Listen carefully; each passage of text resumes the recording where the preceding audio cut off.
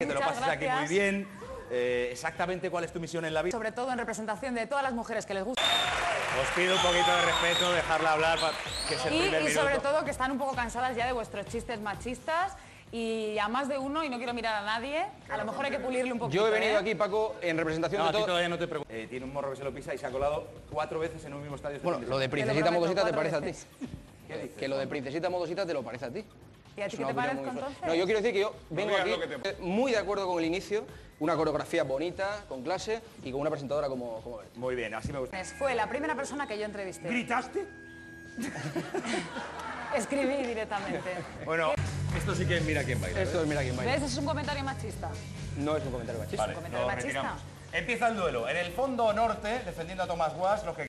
Y lo que vamos a ver ahora es algo que demuestra que este programa ha sido pionero. Que me digas, ¿qué hiciste tú el año pasado para aguantar a esta pandilla que me toca a mí todavía mucho? Yo acabé loco, imagínate, metiéndome en la piel de otro. El mundo de Chema, Mundo de Chema. pinta fenomenal. No, pinta muy sí, bien. Yo creo que sí. ¿Has visto algún programa ya? Eh, yo he visto una promo, yo he visto una promoción. Lo veremos. Si pinta también es esta mesa. Entonces, pues bueno, para ponerle un poquito de animación vamos a ver unos vídeos y a ver si se arregla esto un poquito.